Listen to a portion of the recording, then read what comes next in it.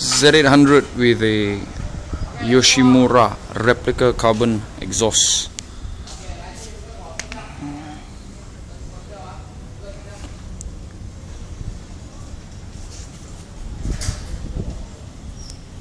Fire it up to hear the sound of it.